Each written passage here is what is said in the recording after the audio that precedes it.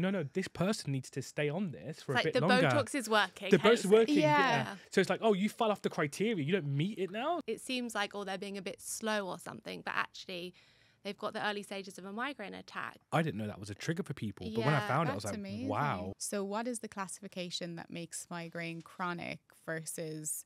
I don't know. Is the is there? Can you? I don't want to say casually experience a migraine, but you Yeah. know, you know what I mean. What are the boundaries there? People don't actually want to do it. Today's all about migraines, and we're going to talk about Amy. So I think the best place to start is, Amy, tell us how your journey in migraine started. So, well, thank you, first of all, for having me and for that lovely introduction. Um, I started, I feel like, with migraine very untraditionally. So, I didn't have migraine attacks growing up. I never fitted the kind of episodic, shouldn't do that really, it's episodic migraine, but the episodic migraine criteria. I kind of retrospectively realized I was quite a headachy teenager and I had a few periods of about a couple of weeks at a time with a constant headache, and they were both what I would now call like letdown headaches um, after a period of stress. So I had it once in my sixth form, and then again another time at university just after I handed in my dissertation, which now I understand headache, I understand my body and my brain, and how crucially my brain responds to stress. I'm like, oh, of course I did. But it wasn't a debilitating headache. It certainly didn't fit any criteria for migraine. And it went away on its own after a couple of weeks. I had one migraine attack the summer before I became chronic, and this was very different. I worked at Wimbledon um, tennis during my summer holidays whilst at university, and on the last day, I got what I now know is an extreme visual aura, which again isn't typical because none of my migraine attacks since have had visual aura, which I still find like fascinating and always want to talk to headache specialists about like how can that be um, such as the complexities of migraine. And over the period of about two hours, I slowly lost all vision. Um, it started with me kind of looking up at screens on um, the suite I was working in, had a TV, and being like, does the TV look funny? Like, are the lights going a bit strange?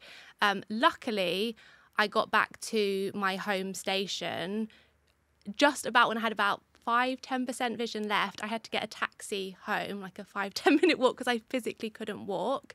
Got to bed, had a pounding headache, took some paracetamol, slept for a few hours, woke up groggy, but fine. Didn't think anything more about it. Didn't even really, wouldn't have called it a migraine attack, I don't think, back then. And then skip forward how many months? Seven, eight months. The following January, I woke up on the 2nd of January 2015 with a headache. Again, not debilitating. Kind of thought it was a bit of a delayed New Year's Eve hangover, was a bit tired. Um, and from that day forward, I had head pain every day for around seven years. It did not go away. And over the course of the next month or two, really January, February, I was still working, trying to travel into the city and London and things, and just feeling worse and worse.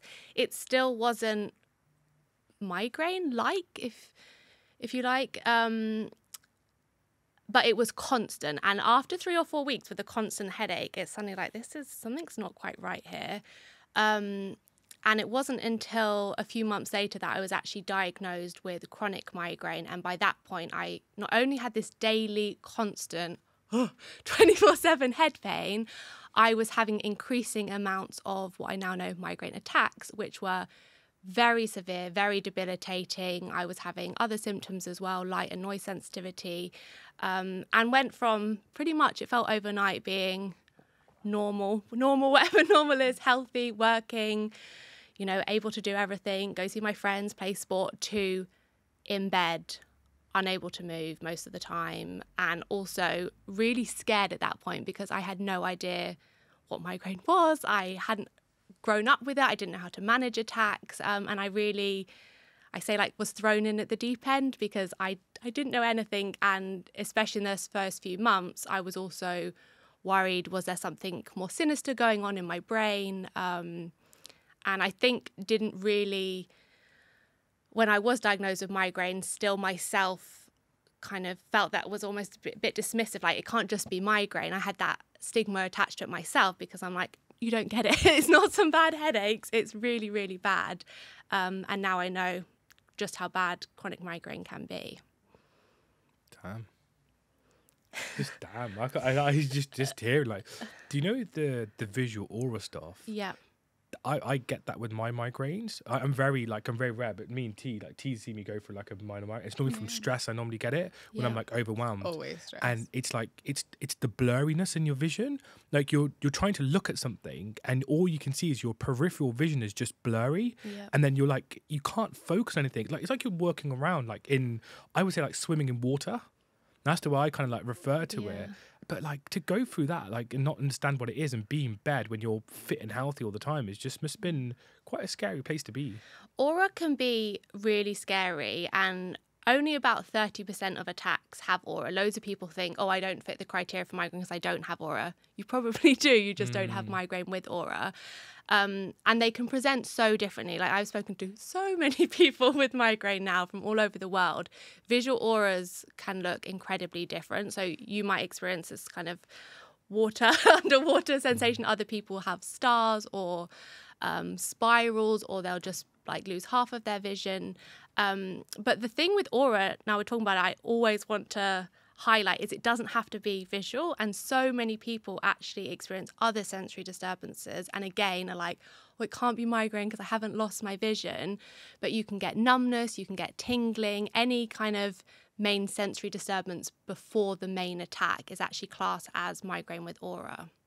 Sorry, can you explain that to me? Um, so you're saying that if kind of anywhere in your body, if you're having some sort of a sensory um, kind of attack or something something different happening, and then that is followed by kind of a classic migraine or because as someone who doesn't um, very luckily uh, doesn't suffer from migraines i think my assumption when you hear the word migraine is like oh it's just a bad headache Yeah. um, and you kind of think of okay tension pain around the head area but obviously from kind of talking to you and and you and like talking more about migraine i realize that's absolutely not the the reality. Um so for anyone that might be listening to this um kind of coming maybe from my perspective that wouldn't be as familiar you're saying that that's how it's diagnosed. So the kind of sensation pre a classic migraine or could there is there no such thing really as a, a classic migraine in that sense of of what a lot of us might think. Mm-hmm. Does that make sense? It does Am I- make sense. So the easiest way to answer this is really to talk about an attack, the attack stages. Yeah. So most people, like what you're saying about, think about the bad head pain, and that's what we in the migraine space would talk about as the main attack, which is actually phase three if you're talking about migraine with aura. So there are three key stages of a migraine attack without aura the premonitory phase, the main attack phase, and the postdrome phase.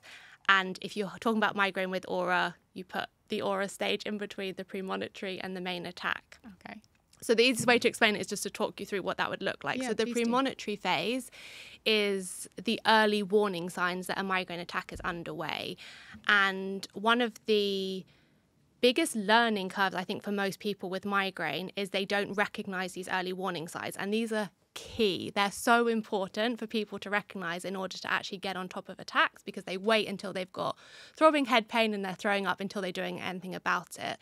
So the premonitory symptoms can actually occur days before the main attack, or they might occur a few hours before. These tend to be things like fatigue, stiff neck. If you wake up and you're like, "Oh, I've slept funny," probably and you have migraines, probably a migraine attack's on, on the way. Um, change in mood, yawning. That was a big one for me. If you're suddenly yawning loads and you're not actually tired, and it's like excessive yawning. Um, chocolate cravings cravings, yeah, Dilly's cravings. is always a chocolate craving because you're not a massive chocolate person, but Oh, then when- it's it was never clear Yeah. for me because I'm like, well, I'm always craving Uh, chocolate. I know. The minute Dilly's like, "Oh, I'm kind of craving chocolate," I'm like, "It's on the way." yeah, and also this is chocolate. Whilst we're talking about it, is this is why so many people think that chocolate is a trigger for them because they start craving it and they eat it and then they get what they know is their main mi- migraine attack and it's probably not a trigger, Yeah. it's a craving. Um, so that's always an interesting one. Frequency for urination, like if you're constantly going to the toilet a lot and you're not normally and you're well hydrated, um, they're all the kind of early warning signs. They can look very different, but I would say recognizing your own ones is really important. Um, the second would then be an aura stage. This tends to be shorter. It's normally kind of from minutes to a couple of hours max. Um, and so it can be visual, but it could be something like numbness. There are different types of migraine. You, some people get numbness, um, hemiplegic, and tingling, lose. Um, what's the word? Yeah, sensation down one side of the body and actually become paralyzed. Some people down one side of the body. It presents a lot like stroke, but that's kind of in the premonitory aura stage, and there is some overlap in symptoms between them. And then is the main attack, which is what you would think of as a migraine, Classic. tends to be um, throbbing head pain. People sometimes describe it as head pick pain.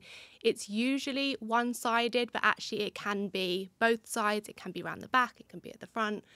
Um, and it can switch. So, a lot of people who have frequent migraine attacks will tell you if you use myself as an example, I typically had right side migraine attacks. And if I got a left one, oh, I knew I was in trouble because they would always give me a lot more nausea. Um, so it's, it's very odd how it can move around. Mm. And then the fourth stage is the postdrome stage. And this is more commonly referred to as the migraine hangover. So let me get the mm. chocolate back mm, out.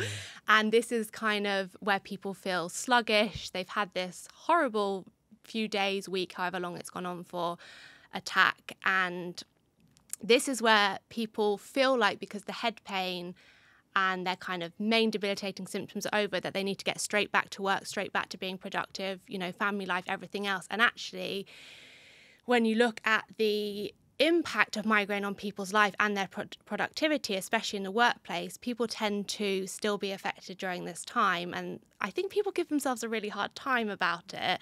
But there's a reason for this. You are still in the migraine attack, it's just at the later phase. Um, and then for people who have chronic migraine and frequent attacks, there's also a phase called the interictal phase, which is the phase in between attacks.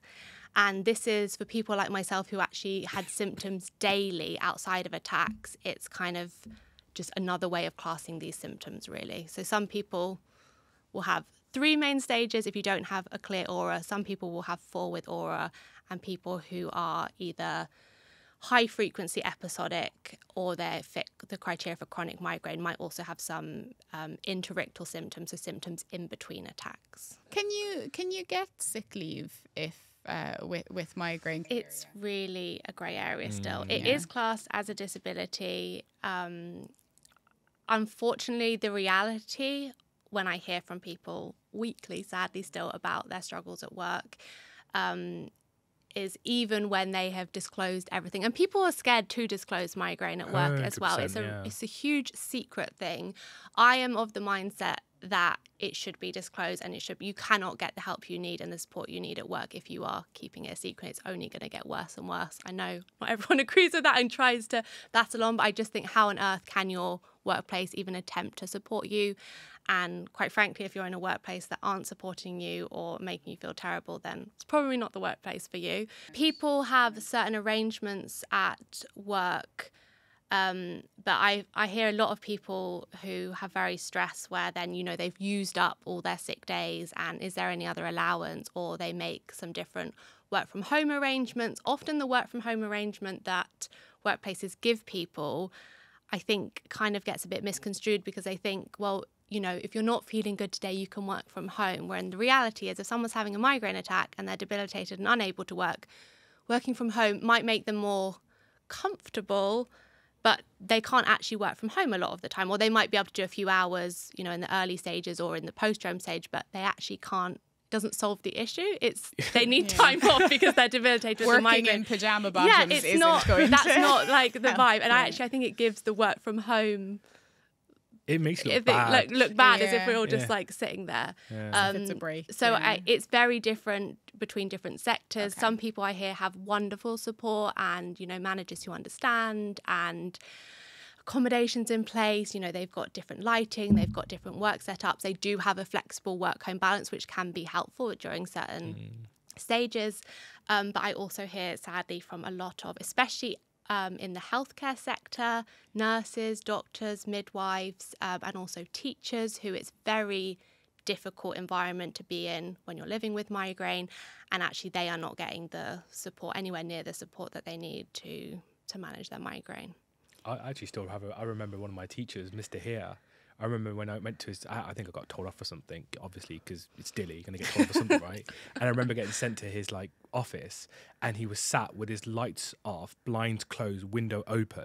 And I remember walking, going, "What the hell have I walked into?" And him, him saying, "Oh, I've got a migraine, so please just bear with me." Yeah. And I, now, now you understand why like people in like careers like teachers and stuff. h- How are you meant to say to your classes, "Sorry, I can't take class today because I've got a migraine"? Yeah.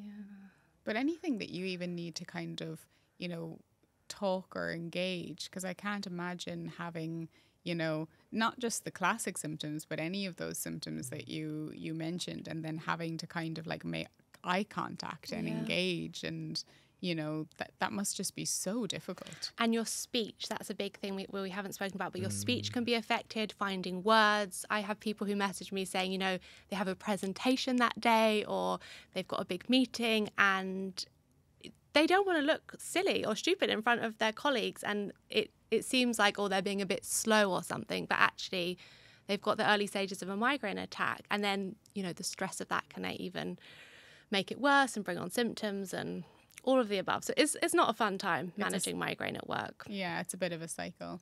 Before mm-hmm. we move on, I just wanted to circle back to Oh, so you were talking chronic. about the stages of, of migraine. So what is the classification that makes migraine chronic versus I don't know, is the is there can you I don't want to say casually experience a migraine, but you Yeah. you know what I mean. What are the boundaries there?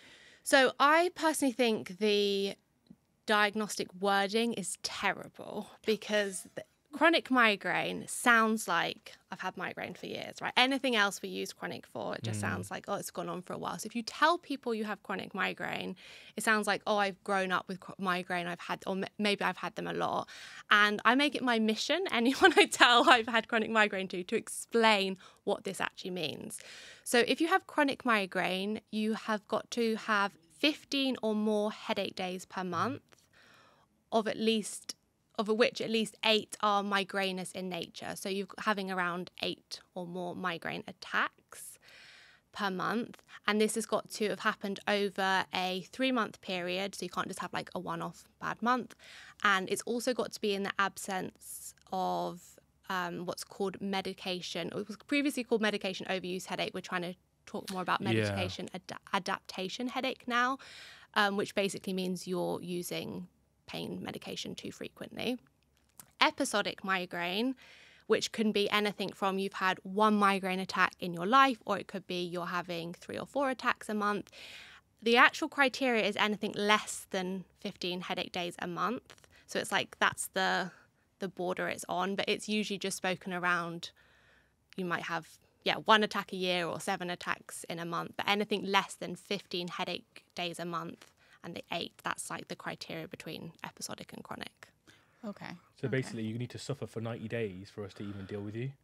Yeah. That's ba- that's basically what they're saying, isn't it? It's like it's like you can't take medication, and if you not suffer for at least 90 days, then then handle you. it's quite unusual to go it's not unheard of because i did it and i've spoken to lots of other people but most people the natural progression is to have, have episodic migraine attacks then gradually get more frequent into what's known as like high frequency episodic which Yeah. sits below which is also a uh, group of migraine people with migraine who actually I think get forgotten about because they're not meeting the chronic criteria. They're underneath it, but they still might be having but that's what I mean. An That- attack or what I two a week, yeah, and it's like that's what I they're mean. really struggling. They're a group where I'm Mm. like, you're not having daily pain and symptoms, or more symptoms a month than not, more days with symptoms than not. Mm. But like, let's help these people now before it gets that way.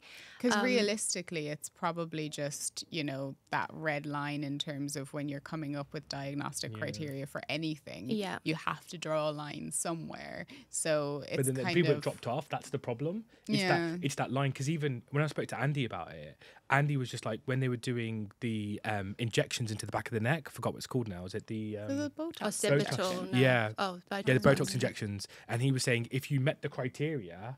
but then you fell off the criteria. Like if you like if Yeah. you're if your migraine went down, then they'd be like, oh, you don't need them anymore. And Andy would be like, no, no, this person needs to stay on this for It's a like bit the longer. Botox is working. the Botox is working. Yeah. Yeah. So it's like, oh, you fell off the criteria. You don't meet it now. So like, like what sort of Oh, jackassery is that? Sorry, so if you're That's really receiving common, yeah. treatment and then, but surely that's an indication the treatment is working and you should be put on the treatment plan. It's changed a bit. So with Botox, no, this is really interesting. It's all about the money.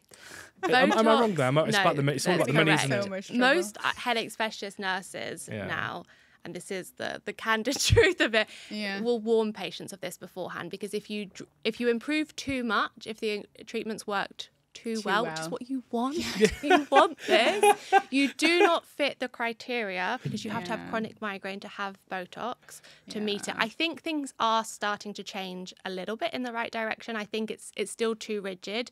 With the newer drugs, the anti-CGRP drugs, there's issues with enforced breaks when people are doing too well, but there isn't the same rigidity with the um, if you've improved too well, it, you're not chucked off it straight away. And there are some people, this is like me supporting the Botox now, who actually do stop it after they've mm. reduced chronic and they still maintain it without the Botox. So, mm. and that we see across different treatments. It's not always that by mm. coming off it, it's not. But for most people, especially if you've done, let's say, like six months of Botox and you've gone from 20 attack days a month down to 10 or Yeah. 7 or something and you're doing much better to suddenly lose botox is terrifying and i think mm. the fear of that actually does more harm sometimes than losing the botox itself trigger the, it could trigger the stress and everything. Because you think about it, right? You're you finally get better, but you've been off work for ages, mm.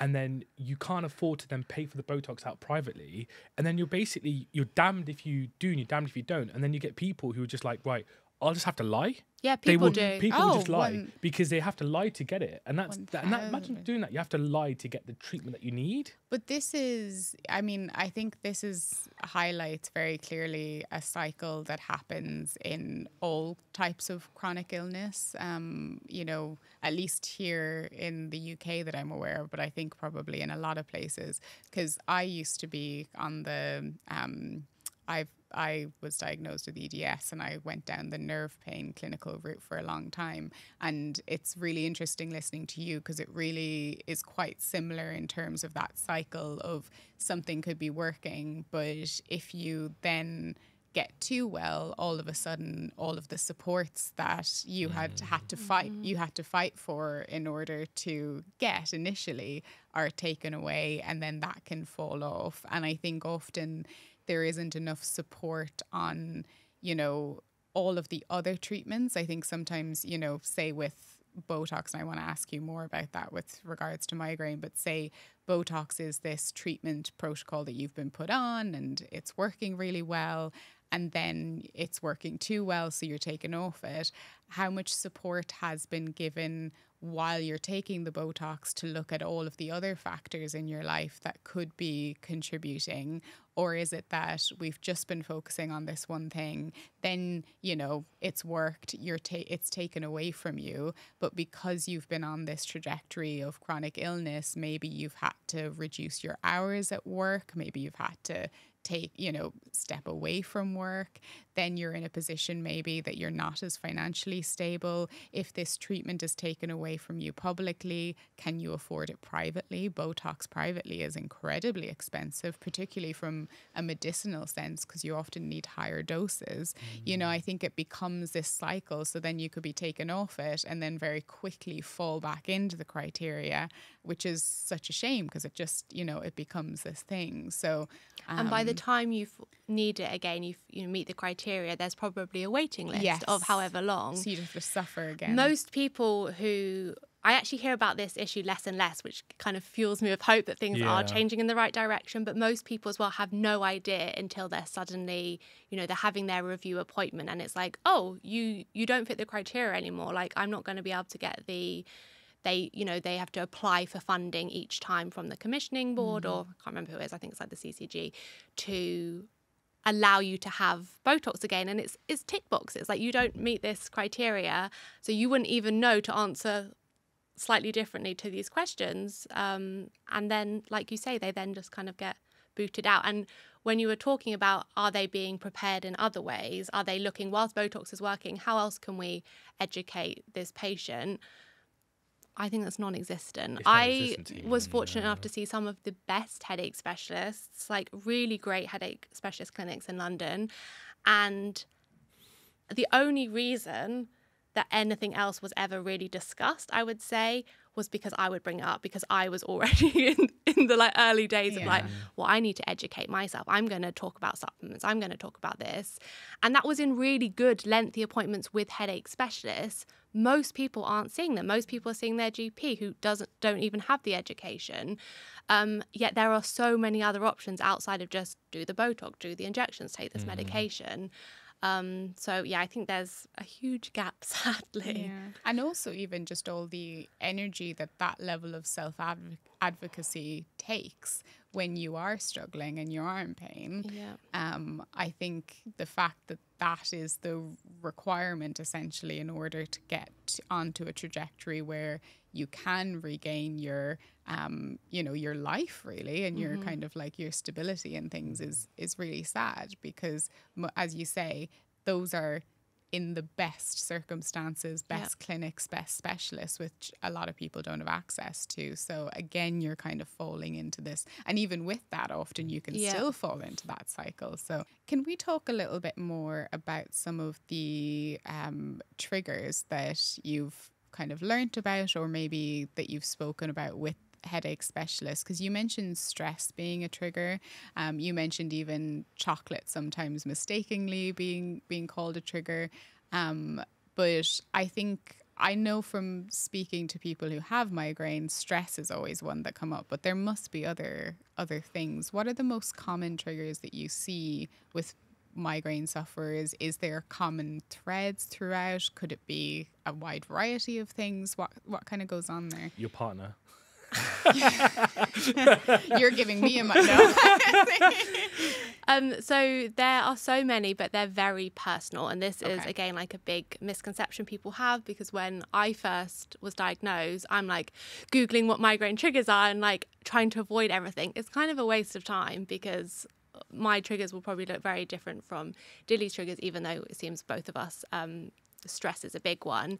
So the common ones are I know we kind of talked about cho- chocolate, but food triggers do exist. They weren't something for me, but for some people, cheese they are a thing. All sorts of things. Yeah. Like there's all the classics like chocolate, cheese, alcohol, um, caffeine, but there's also some really weird ones. Imagine a like lot of additives and like some of the like colorings and preservatives. I wouldn't be surprised. Smells, perfume smells. yeah, and stuff smells. As well. Again, that's one that can be both. So it can be a premonitory um, symptom that people have a hypersensitivity to certain smells, and they actually already have a migraine attack, and they're like, "Oh, I can't stand that perfume." But also, some smells do trigger.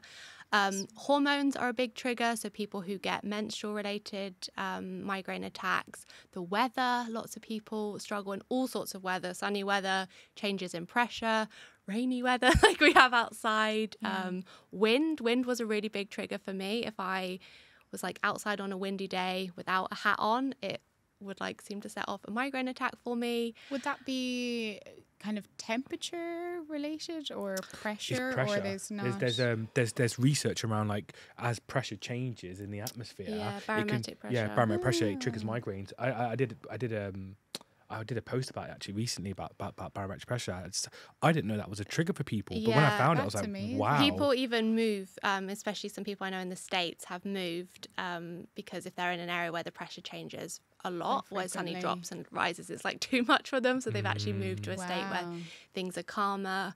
Um, stress can be a big one. I'm trying to think what other ones we've missed. Travel is a big one, but that's usually because it combines a lot of other triggers. So changes in routine, lack of sleep is a big one. Um, Seeing or your poor in-laws. quality sleep. I'm joking. I'm Basically, joking. so sorry, much sorry. of- I didn't mean, I'm joking. I'm joking. so It's a joke, much of daily life can be a trigger for people. Yeah. Yeah. Um, but there's all sorts of weird ones as well, like um, travel in terms of just car journeys. So the motion, I used to get a lot of motion sickness when I um, was very severely chronic, like short journeys even would trigger off attacks for me. Um, but they can change, and that's the other misconception. People think that their triggers are fixed and that's it forever. But actually, most of the triggers I had when I was chronic are no longer triggers for me anymore. So, like, there is hope if you're watching this and you've got all these triggers and you're like, oh, but I can't do anything about them. They they can change, and um, that you're not stuck with them forever. Mm. I think like it's the same with like the histamine community. We talk a lot about it. Like Yeah. what triggers you isn't going to be like it's this weird obsession with like a tick box exercise. Yeah. Like I feel like literally people go, "Have you got this list for this?" And it's like, "No, like chill. Like you need to keep a diary and identify what's for you like Yeah. you like just how we like to be like we dress individually how we eat individually our tastes are individual our triggers are individual as well and for some reason i and i, I do think it's because allopathic medicine has to go through this tick box exercise that we go through it that we think we if we have that then we must have it so I would say to people, you need to just identify it yourself, but we're not given that chance because you imagine going to an appointment and saying, "Well, this is what triggers me." Well, sorry, it's not on the list, Yeah. And it's true, isn't it? It's like it's not on the list, is it? So you can't, it, it can't be true. But I think it, it can become quite a source of anxiety as mm. well when you're kind of trying to monitor all your triggers, but also then preempt your triggers Yeah. and kind of think, oh, I can't do this because this could happen, this could happen, this could happen, or oh, I have this trip or you know i want to go out for a meal with my friends or my family but i need to think about all of these different 10 things but then on the flip side i think often you know, in order to be heard and taken seriously, um, when you're going to see your doctor and you're feeling unwell, you equally have to have these trigger points because that's the criteria that they work within. So I can I can see that kind of balance being quite tricky. And then also in the recovery space, you know, you you're conscious of these triggers, but I mean, correct me if I'm wrong. So I'd be interested to hear your perspective. But when you're trying to heal and recover um, in a chronic space, I, I, I imagine that fixation and focus on all the different triggers isn't very useful long term either. So it's almost like having to soften or let go of some of the things that brought you to the diagnosis in the first place. Is that something that you would? Yeah, there's there's two things. First, I'm actually going to talk about what Dilly said because with triggers as well, the other misconception, and we're kind of only really just started talking about this. I feel like in the migraine space over the last few years with triggers, is that it's mm. always just this one thing that set off a migraine attack, and now we kind of know or we think more likely that it's this build up of triggers and it's actually called um, migraine threshold theory. And it's that we sit we all have a different threshold people with migraine and if i'm chronic mine might be a lot lower. And it needs almost if you think of a cup of water building up and each bit of water is a different trigger if you have chronic migraine, you probably don't need a lot of triggers added to your cup to meet your threshold where mm. the water is overflowing at the top and you have a migraine mm. attack. Whereas if you have episodic migraine, it might be a build up. Yet so many people will blame a specific trigger. So they might have a coffee in the afternoon and they get a migraine attack and they're like, oh, I can't drink coffee. Coffee is a trigger for me. Whereas in reality, they had a fight with their partner the night before because they were being rude about the in-laws. And then, then they had a bad night's sleep because Yeah. they've got a young child and disturbed. And then they skipped breakfast on the way in because they didn't have time for that. Mm. And then they had a really stressful podcast with someone and it went you know like something happened and then they had the cup of coffee and people are really bad i think at looking sometimes at the bigger picture which kind of gets on to your point about hyperfixation. In my early years i was so fixated on I have to find my triggers. And I speak to so many people, not quite daily, but on a weekly basis, who are like, I just need to work out what my triggers are and then I'll be better. Yes, there are some triggers, especially food ones, where it's like, it's a really easy cutout. If you find that there's something that every single time you eat this food or you have this drink, you get a migraine attack, fine, cut it out. It's actually really easy. I used to wish I had food triggers because I'm like, I'd give up anything, right?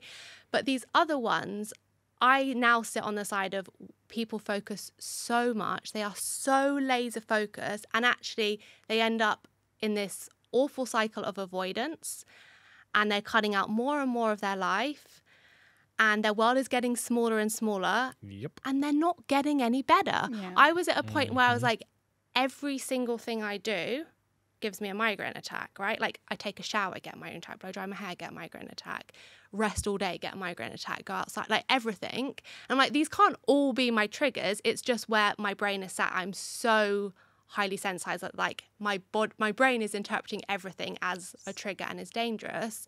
And like how do we calm that down? Hmm. And it's it's kind of I'm getting better, I think, at speaking about this online, but a lot of um, doctors still and other people, you know, advocating still sit very much on like you just need to identify your triggers and remove them. And I think this is helpful advice for people more in the episodic space and recognizing, you know, it's good to recognize stress as a trigger. It's good to recognize the importance of good quality sleep and look at what else is going on. But if you're having frequent attacks and you are spending your days like I think that fear of triggers is actually more triggering than the trigger itself. One thousand One, percent. I was literally one hundred. I was like, this is the this is the. We spend too much time. we together. yeah we spent way too much time together. This I cannot. You, you I wasn't sure if saying that was a woo or a boo.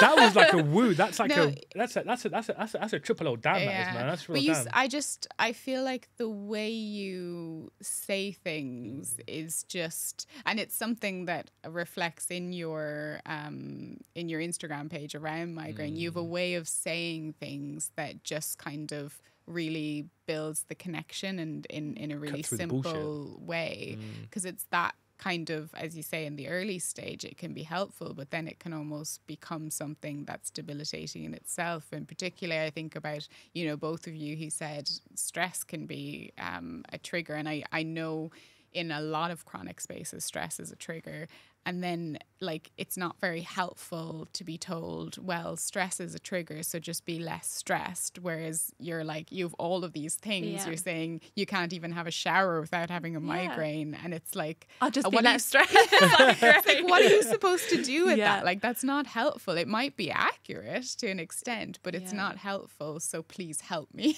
It's like you know, you know, like in that when like couples say to each other, like they go for a bad phase and like just like calm down. You know when someone tells you to calm down and you're like, Oh, I will, I will punch you in the face and then I'll calm down. So like anyone, anyone who's watching this right now, if your partner tells you to calm down, yeah. Like there's two words and the second one's off because you need to just leave me leave me be like it, the thing it's is a bit dismissive isn't it yeah, it's it's it's a, it's a dismissive way of like dealing with it. But it's like you said, when we're if we become obsessed with the triggers, you're not trying to treat it. You're trying to prevent something that with migraine can happen for various reasons, mm. and you're actually creating another added layer of stress. And the fact that we're being told to look at triggers and remove it. And I have the exact same argument with so many people in the histamine community. And but when I say it's an unpopular opinion, but it's not unpopular because listen, in the nicest way possible, bro, if that was working for you, guess what? It would be a form of treatment. But do you know what? It's not. Mm-hmm. It's not a form of treatment. Yes, well done. Congratulations. You've identified what doesn't work for you. Congratulations. But has it solved your problems? If you're 15, 16, 17 years of doing the same shit over and over again, then trust me, it's not working. You need to look at what you can do to treat it. And, and I use the word treat openly because what works for other people doesn't work for others, if you know what I mean. yeah. And I think, and I, I you know, I want to just change the tangent a bit because I remember when when I've like popped on Instagram a couple of a couple of times, like I've seen some of your videos where you've been going through the migraine, and I've seen you like literally teared up, crying, going through it. Like that was a real powerful moment for me because that it, showed me like like even when you're suffering, you can still share that suffering with other people, and I I think that for so many people has actually made them feel more empowered that they're not alone in in this. And I think a lot of time with chronic diseases, we end up feeling alone, don't we? Hmm. Well, even as you said, in terms of you can, it can be so isolating um, because you can't. You can get to this place where you're just trying to cut and cut and cut, you know, like hmm. kind of remove everything that's triggering from your life, hmm. which not only is really isolating, but it's also not fun. And mm. as you were saying with kind of online, often there's lots of helpful tips out there, but no one's necessarily showing the reality of actually, you know, this is what it feels like when I'm at home alone and I'm having an attack and I'm feeling bad. You know, it's not me just kind of talking about all these great tips and things like that. You mm. go through it as well. So I think it's a tricky one.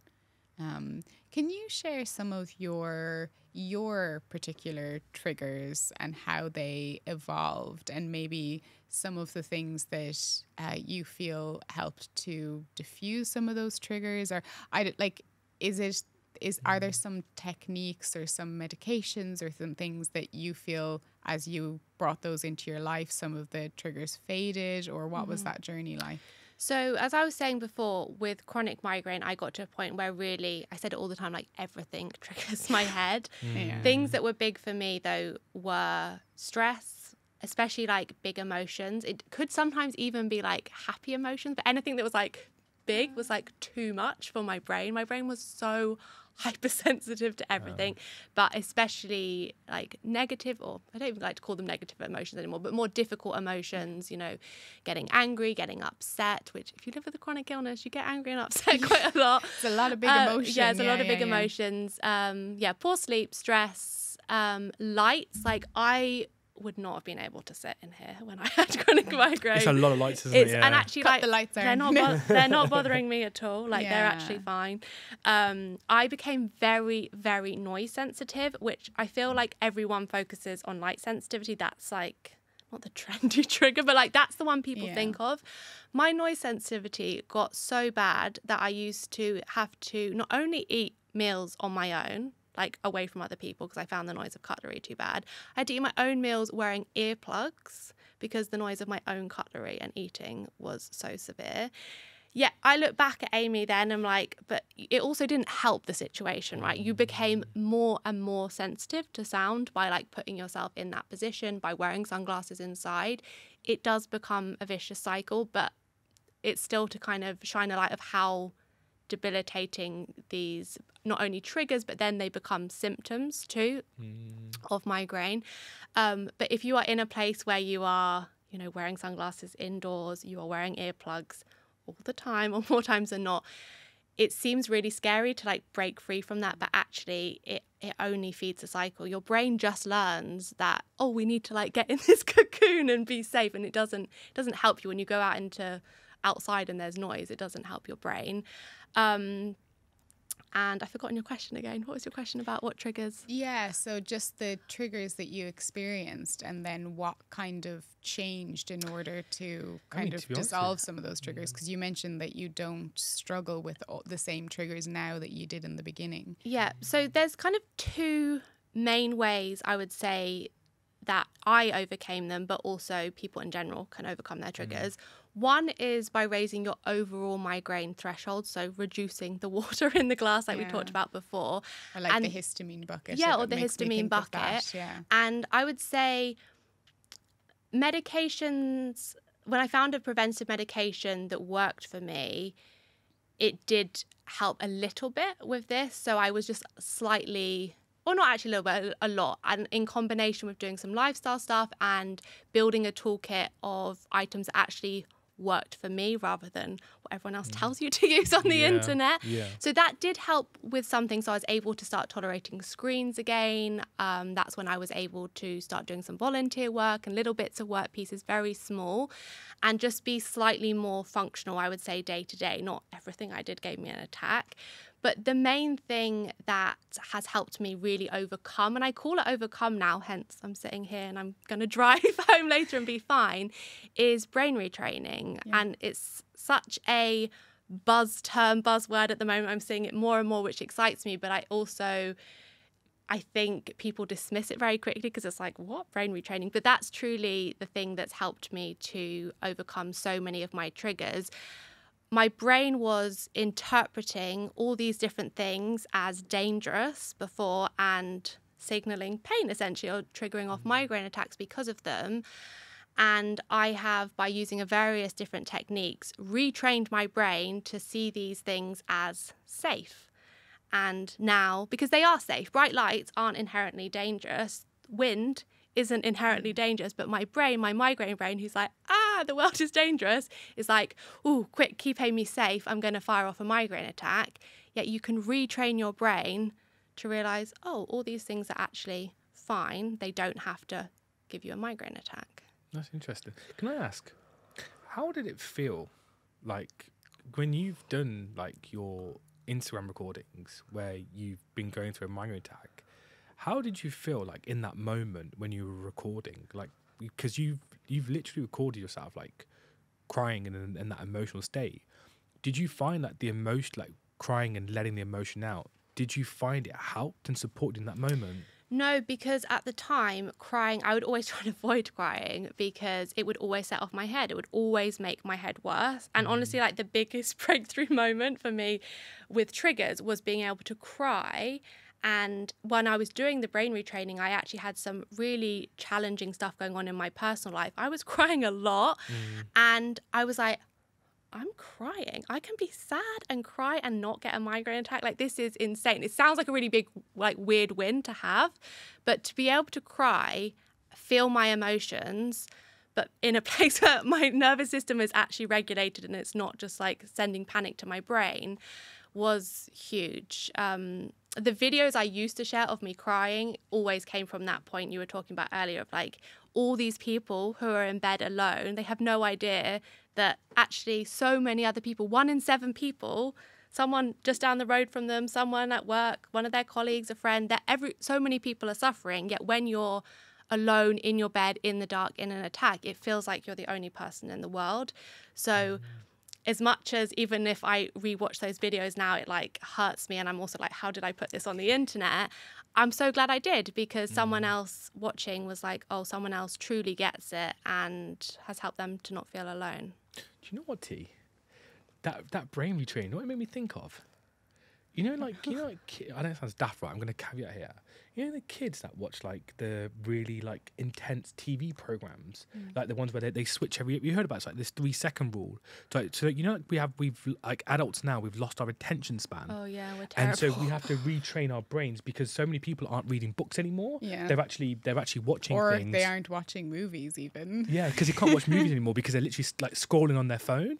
And it made me think because that's what the brain retraining actually is to actually learn to have an intention mm. span again. And they're doing it with kids now, which is which is like But that is brain retraining, eh, Mm. and it's using kind of our understanding of how the brain works and how malleable and trainable the brain is, but it's using it against us in the sense of mm. Creating those videos that are really short and sharp and constantly have moving things to train our brain to not be able to tolerate kind of long form, more boring, slow content. And it's the same thing you're talking about, but applied, you know, in a beneficial yeah, way beneficial, yeah. of, That's what I was of where you're thinking. training mm-hmm. your brain to be less hypersensitive mm-hmm. because you know our body it in a way like all of our bodies are the same in terms of like you know the network of being a human how it kind of signals danger and how you know we protect from you know harmful invaders da, da, da. but so it's the same in terms of the network, but obviously, depending on all of these different environmental and physiological factors, our bodies can grow up to kind of respond in a different way. And I think, like what you were saying, your your body and your brain was like hypersensitive mm-hmm. and telling itself that you know things that aren't technically dangerous like a, a bit of light were dangerous. Your body was saying this is dangerous. There's something going on signaling pain which is our body's way of telling us Yeah. get you're in danger get away.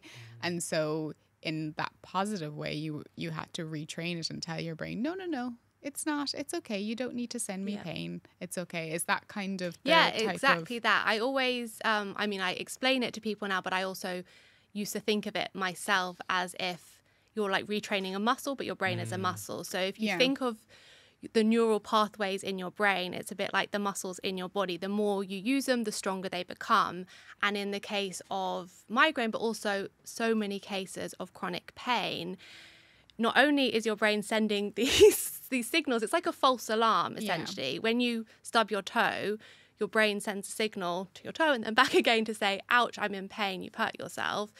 In most cases of chronic pain with primary pain, like which migraine is, it's a false alarm. There's no there's no danger from that light, but your brain's like uh, uh, uh, something's going wrong, um, and it's almost like the the pathways in your brain get a bit too good. They've learned these mm. pathways so that it used to be I just look at the light and boom, my brain's already made that connection. I'm in danger.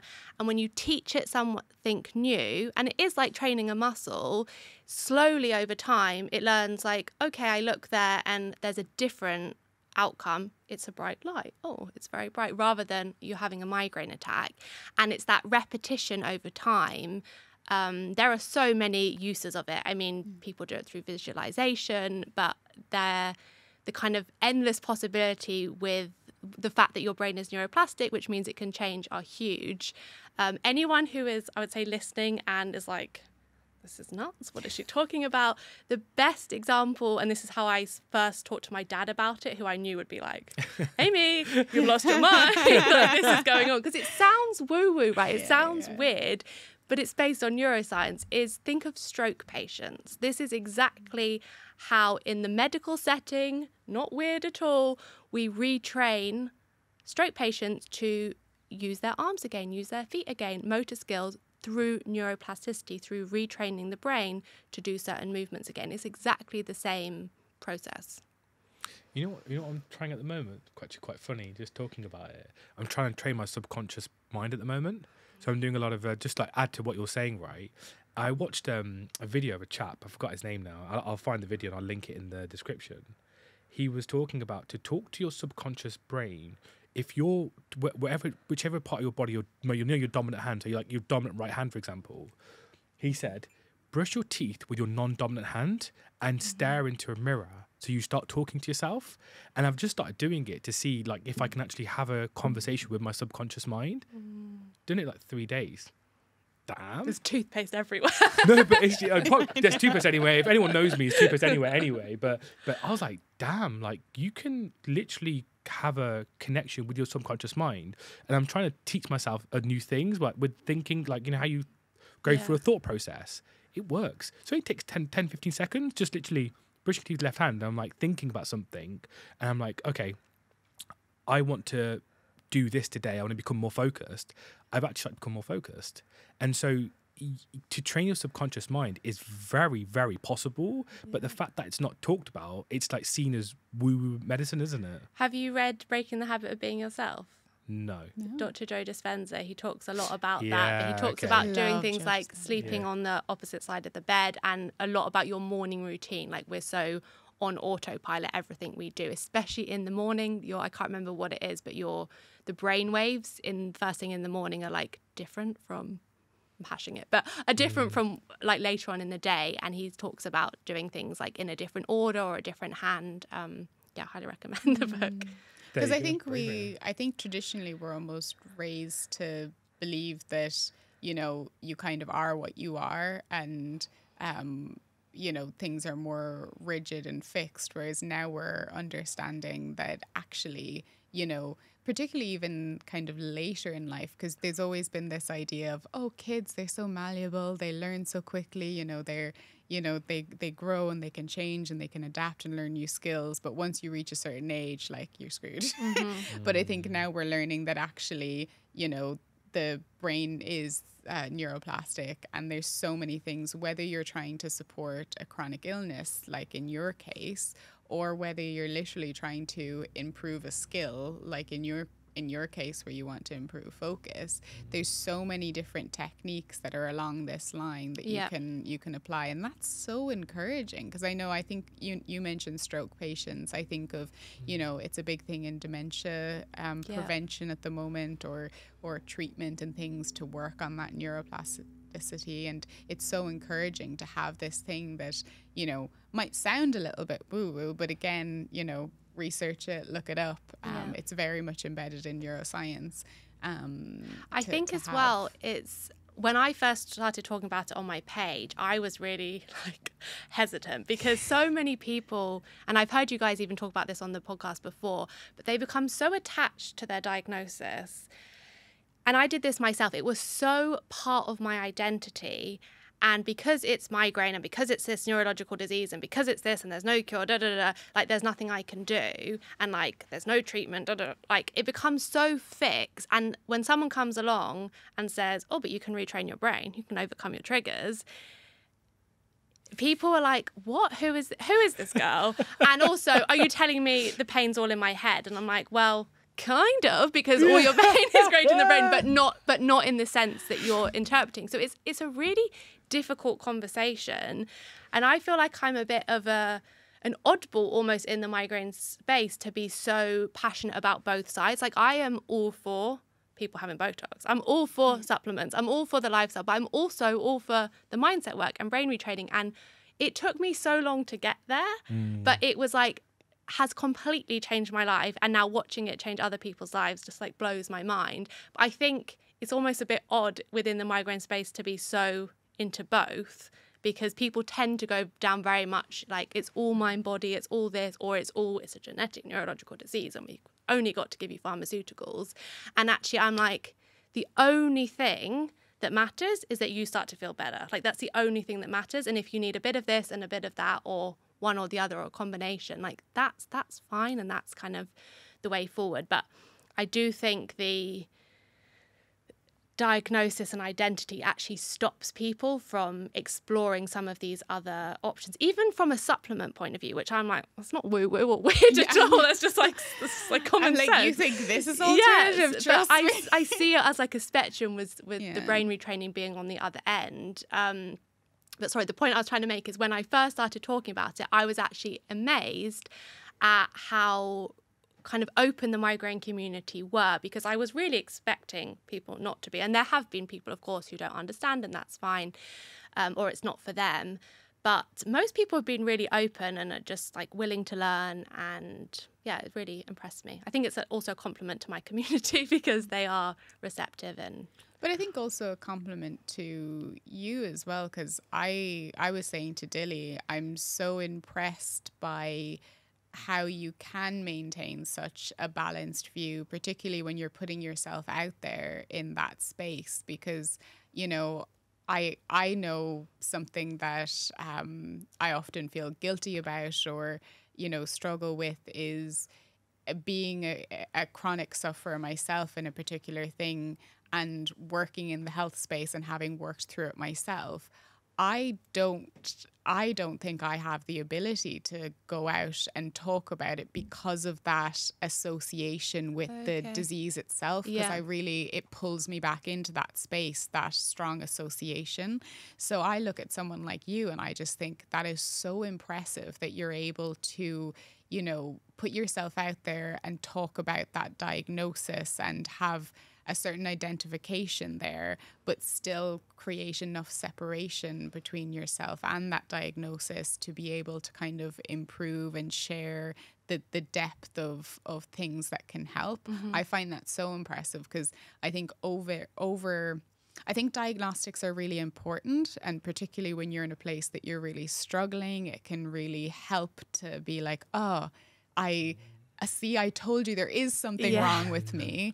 But I think, and I don't know if this is what you experience, but I think often you find that you're fighting for that diagnosis because you want you want to be acknowledged mm-hmm. and you know someone to say oh you're not crazy like this yeah. is a thing but then i think sometimes you build that diagnosis up so much that that's once you get that everything will be okay but actually you realize that once you get that you know there's there's so much more in the journey um, so i find that really impressive and i'm sure that's how you've attracted such a balanced community mm. as well and just kind of not to go off on a tangent, but before I forget to to add to what you said, because I think there's definitely and I see it all the time. There's definitely, you know, there's the groups of people that are quite rigid in the allopathic medical model.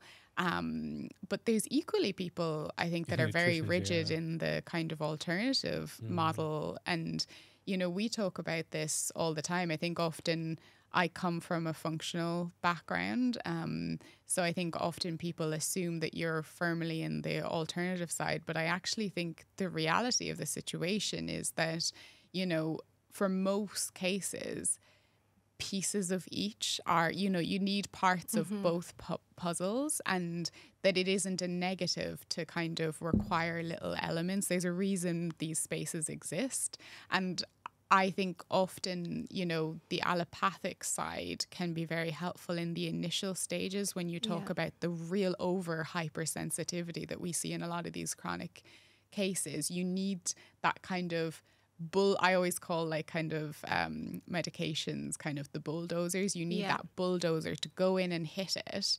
But as we were saying with the Botox, you know, it it's often the case that with a medication it can help, but the minute you come off that medication or if mm-hmm. you've been on it long term, then all of a sudden it stops helping. And if you haven't looked at the alternative side of things, you can find yourself in a difficult space. And then on the flip side, if you're in that over hypersensitive space, everything feels like it's falling apart. I think it's a lot of pressure and expectation to mm. say to someone, well, what you need is to change your diet, or Yeah. what you need is to start exercising or start mm-hmm. mindfulness and or like brain retraining. And yes, we know that that is the thing. We know that it's important, but to tell someone that right now in that space isn't helpful. It's like mm-hmm. saying, "Well, just stop feeling stressed because stress is a trigger." Yeah. And you're like you just want to. Yeah, I know. You're like, "Oh, thanks so much for the great advice," because I think about that. And I, I feel for doctors often as well in this space because to try and communicate to someone that is suffering deeply that there could be a psychosomatic element, like you do kind of want to punch that person Yeah, in you the do. face. You know they're trying to help, Yeah. but you're like, I actually want to punch you right now. So I'm I'm interested how you like where did you come across the brain retraining bit and you know how did you receive that because Yeah. obviously you're at this place now that you're talking about the benefits but i can imagine it Yeah. wasn't always the case I think I agree with so much of what you just said because I'm a really perfect example of that. If I hadn't got to a point in my own recovery where I still chronic, but I had some level of control, I'd got down from 20 plus attack days a month with daily head pain to 10 attack days a month mm-hmm. through the lifestyle changes and through medication. I don't think I would have been able to engage with the brain retraining and and actually some of the other lifestyle changes I then went on to do. And this is what I see all the time. And it sometimes is the flip. It's sometimes people get that control not through allopathic medicine, but quite often it's they need, if they're really struggling, some kind of treatment first to just increase the threshold, bring everything down, calm it down a little bit so that they can even engage in like you say exercise just go for a walk walking can help so much or exercise but if you have no control of your migraine attacks it's Yeah. like like You're you say like, okay i'll just go for some walks. And so it, it does really help and that's really why i believe the combination is so important. Um, i think i would have had a very similar reaction to i think what a lot of people probably have online if when they see me talking about it they don't know about me. And like this girl has lost her mind what's she talking about? She's telling me it's all in her head. If someone had talked to me about brain retraining in between i think 2015 to 2018 despite the fact that i have a psychology degree and like i appreciate the way the brain works i had no concept of how pain works i had no real concept of brain retraining and i think i would have been like unfollow this girl. Like I just wouldn't have been interested. But I think it's really important to say that because I I would have been that person too. Um, I first kind of was drawn into this whole world um, by the Migraine World Summit. And in a way that's still not quite spoken about in the Migraine World Summit, but doctors started talking about something called central sensitization. And my little ears were like, sorry, what? Like, this is a new phrase I haven't heard before. And it's used in the medical field. It's kind of this is what kind of angers me so much that the medical field talk about it. They know they exist, yet doctors aren't really telling their patients about brain retraining or like how the two come together.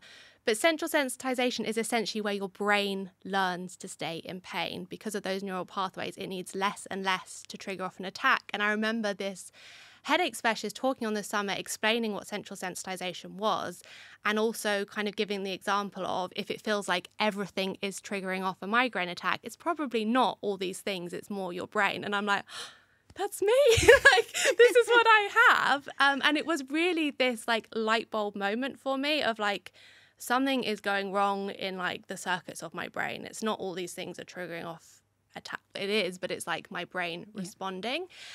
And I had this knowledge of central sensitization for probably like two years before I actually really figured out what to do about it. And I was obviously reading because I'm a migraine nerd, was looking at the research, but I couldn't understand like the how. Like, how do I do something about this for myself? Um, and again, I was still struggling with migraine. I was still going through the different treatments. There's only so many, so much energy you have to kind of put into these things. And I was looking into, well, I was actually also at this time exploring people like Dr. Joe Dispenza. I was exploring the nervous system and the vagus nerve and all these things that are kind of related, but not quite what I needed to be doing. Um, and I also had a really good cardiologist at the time for when I was diagnosed with POTS, who was to me like the best doctor I've ever seen because he was like fully on board with like the medication. He was fully on board of like the lifestyle, hydration, salt. But he was also like, have you tried meditation? Have you tried have you tried like this certain type of breathing that's gonna like stimulate your vagus nerve? I'm like, this is you're the You're- doctor for You're me. winning. You're Yeah, great. Yeah, yeah. Um, so it, it was gradual. It wasn't like an overnight thing. And then it was just by chance, really. I'd been looking at some different programs online and I was about to book onto one. And then a company called Lin Health in the US actually reached out to me and said, We do this brain retraining. Um, it's only for people in the US, but you're in the UK, that's fine. like, would you like to give it a go? And I was like, yes, please. This is like what I've been looking for. And it was incredible. I had the best coach. So you have a program to follow, which is largely educational based, most of which I already knew because I'd been doing so much of it myself and exploring it on apps and podcasts and books and things. Um, but I really needed the actual help of someone one on one to kind of help apply it to me. And some of the techniques that I thought um, a big technique, a part of it's called pain reprocessing therapy, is called somatic tracking. And I thought, like, I've been somatic tracking for months, nothing's changing. And I'd been doing it all wrong, like completely wrong. And that's why I hadn't been doing any better. And I needed that one on one support and guidance. Um, and within a few months, like really quickly, I saw huge differences. I really overcame a lot of fear, which was driving a lot of my attacks. Um, and like I really went for in about three to six months from 10 migraine attack days a month with daily head pain to having like one attack a month, two attacks a month, like really low level. Um, I still had daily head pain for a long, long time, but the when you're not having the attacks, you don't have then the fear that your daily head pain is going to build into attack. Um, and then I stopped working with my coach. I continued working on it myself. Um, I feel like I still work on it, but it's become so part of how my brain automatically works now because I have retrained it so that when certain things come up, like if I have a stressful phone call or something happens, my brain automatically responds in a different way now from how it did before. Not only from, okay, it doesn't automatically trigger off a migraine attack, um, but it just, I don't know, it's hard to explain. It just, I respond to things differently. And beyond migraine and having pain, which was obviously the reason to do it, I also just believe I'm now a better person for it, like in every aspect of my life. Um, like my relationships, I think are better. Um, I'm just happier generally, like day to day. Obviously, it's like you don't have chronic pain anymore, you're going to be happier. But I've been well, feeling well in, in remission from chronic migraine for a long time now. And my ability to deal with life and life stresses, I think, has it's like a, a really ongoing um, positive that's come out of the brain retraining and learning how to regulate my nervous system. You know what's funny, right? Is like you talk about like the brain retraining and the like. It, it, it, if you if you were in the allopathic medicine like hardcore, you'd be like, this person's nuts. What the hell are they talking about? Yeah. But do you know that? Do you know like the you've we've probably all heard of the book like the Law of Attraction. and like energy and like how you attract things, right? And I I think it's it's now it's like starting to really hit its peak in terms of like mm. growth. Well, they've started grounding it in neuroscience now Yeah. as well. They've put that connection together, which helps. Like grounding like in the floor like you know talk, we talked when we did our conversation with dr tina pierce like her talking about like doing grounding techniques and like looking at the arc machine and it's funny because like i even say like if you're in a trauma space and you're in this space of just like reactionary and everything's like you know like the smallest thing could be like completely blown out of proportion. And you know everyone listening to this. You know someone in your life who's like you know th- they could spill the coffee on the floor and they're like oh my god my world is completely mm. destroyed today that can be retrained but then you if you're that person you are going to attract people like that in your life and you're going to look at every single situation as a negative situation because you're in that negative mindset. And it's like i when, it, when the chronic disease space that we've like talking the chronic disease space and i am thinking of something specific but i'm not going to say it because i'll probably get my ass handed to me. But i've got well, there's certain people that i've met where they're in this chronic trauma space and i can't be around them i literally just cannot be around them because i'm like are you actually trying to help yourself hmm. or are you trying to like destroy yourself? Because you're in this process where they're constantly getting unwell they're constantly getting new things new diagnoses and you're just like like are you well? Like you're literally watching your body and your physical deteriorate but not just you your loved ones around you have to watch that. Like your loved ones around you actually have to watch you destroy yourself. And i think you people don't realize like how much what they do and how they behave impacts other people. And it hits in the migraine community because the thing is living with migraine you know yourself is stressful but being the person who hasn't got migraine and you're living with that person is stressful because and i caveat to this like to children because one of the big things that we've started to get a lot of people talking about is young kids with migraines and young children being having chronic migraine days. And for the parent it's stressful and so like how do they deal with it? How did they handle their children? And you, you and you've said to me recently as well like you're getting a lot more parents talking to you about their kids having migraines. And they're, they're in a trauma response. They're actually being taught that trauma area eh, like from a young age. And so we have to retrain even the kids to come out of that chronic pain. So like like can, can we move to a bit more like children migraine if you don't Yeah, one thing I'd like to say on that is it it's so hard because I completely agree with what you're saying, but when you're in that space, yeah it's it's so difficult. Like the people in that space, I still believe, even the ones who I would love to like come let me help you, they're not in the sp- the headspace to to hear that or to act on that.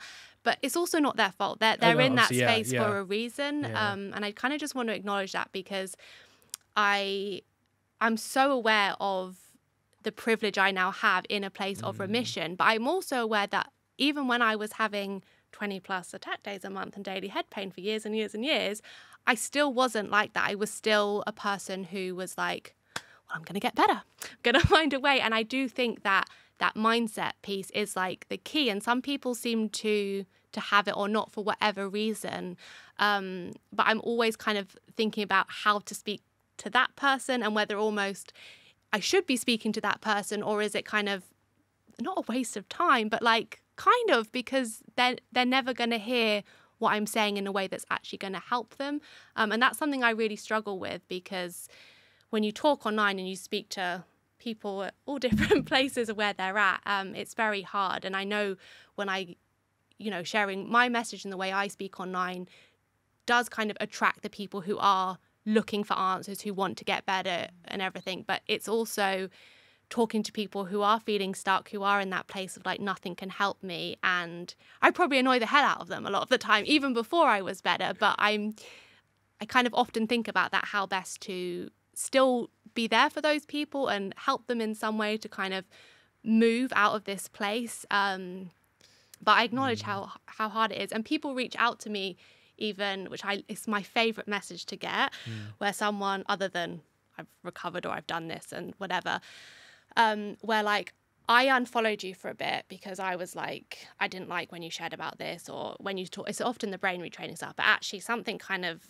something Russell, you know, like got to me. And now I've done this and I'm better, or now I've done this and like I just want to say thank you. And sometimes I think it is putting yourself out there and saying the things that people might not want to hear, but actually is what they need to hear.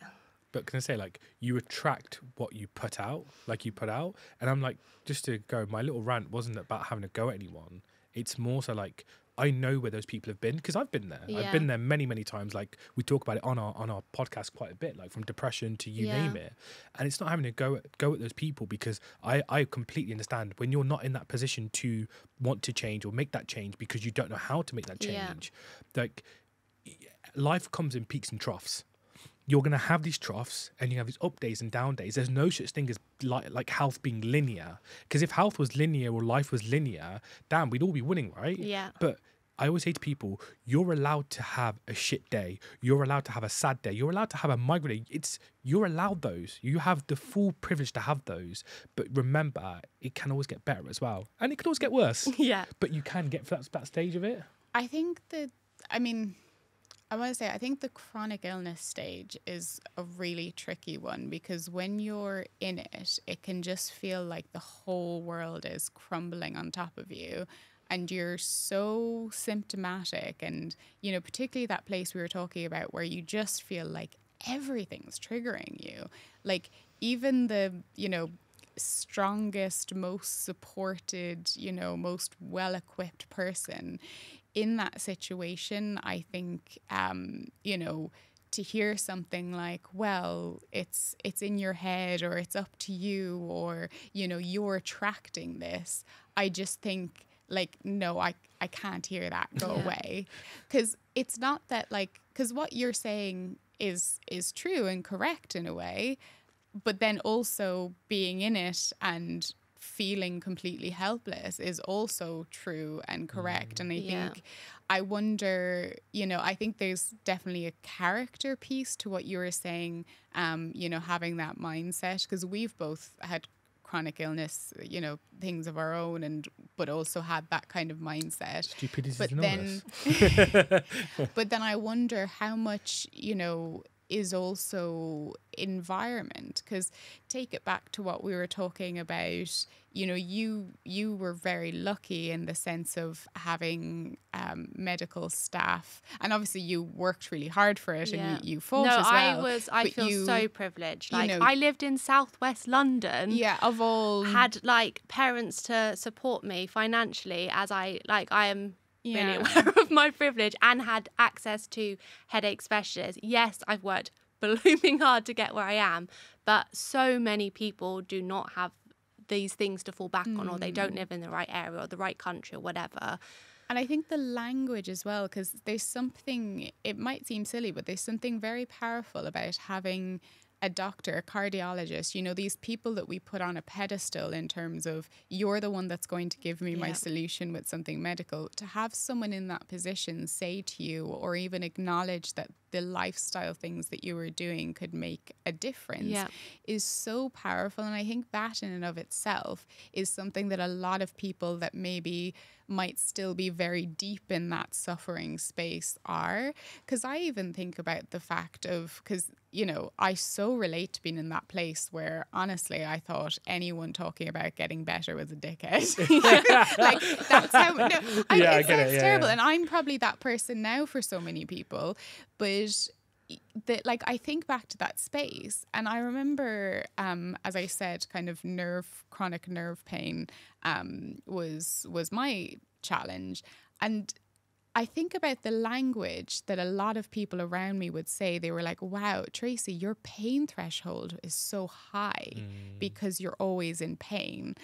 But actually what we were talking about with this hypersensitivity technically you could argue that someone that chronically suffers from pain actually their threshold is really low because they have that hypersensitivity that their body's reacting to pain and everything but if you imagine kind of living in pain and having everyone around you trying to support you because everyone I think often has the best of intentions and they're trying to support you by saying, wow, you're so strong. You know, you must have such a high pain threshold to go through that.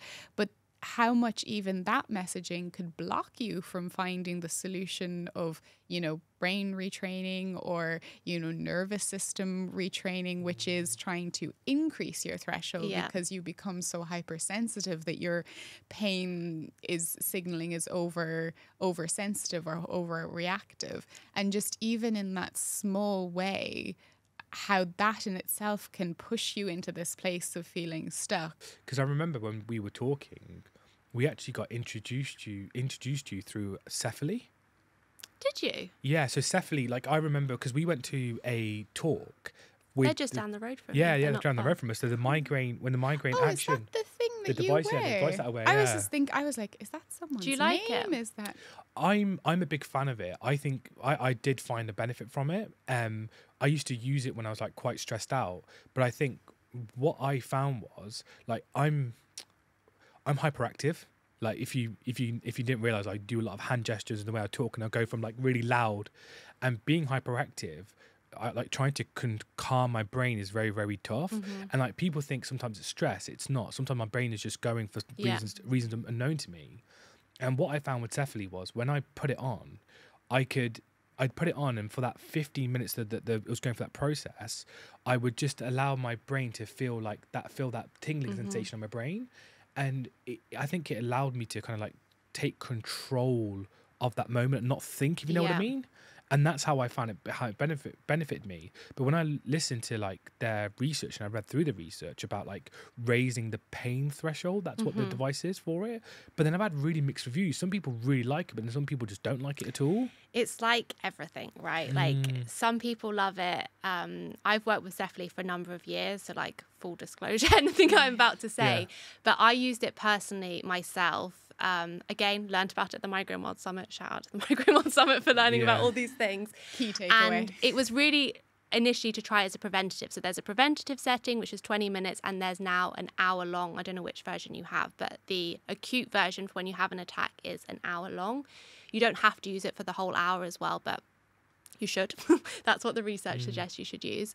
Um, and it didn't work for me as a preventative, and I was really disappointed because I was like, I need a preventative, and yeah, I was really struggling with the kind of more traditional oral preventative medications that my doctor was giving me.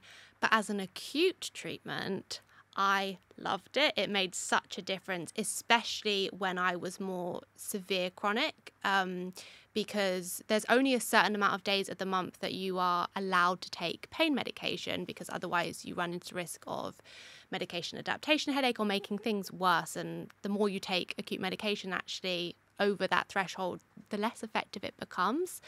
And Cefaly was an incredible tool in my toolkit for treating attacks where I didn't always have to take my acute medication. So sometimes I would just be able to use Cefaly on its own. A lot of the time I use Cefaly in conjunction with my medication. Sometimes I just use medication. But when I was really bad, almost daily, because I was having such frequent attacks, at around four, five o'clock was when I don't want to like witching hour, but very different. But that's when my symptoms would start to get worse. It would build through the day.